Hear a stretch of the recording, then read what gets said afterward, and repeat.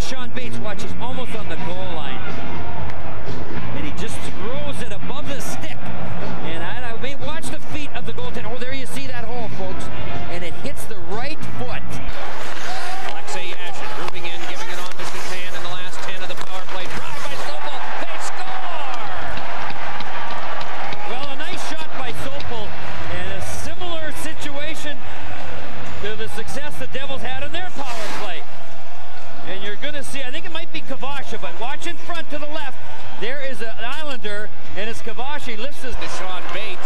Bates moving in. Bates pulls. Flip one in front. Score by Blake on a feed from Shawn Bates.